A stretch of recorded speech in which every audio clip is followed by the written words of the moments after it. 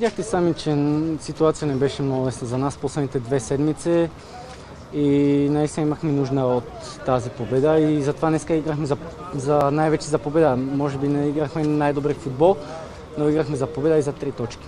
Кога Левски ще започне да играе добър футбол? Защото феновете, както виждаме, уредяват. Нямаше. Е, нямаше какво направим? Не знам, ние бихме и Вера 4 на 0, Славия 4 на 0, играхме наистина много хубав футбол.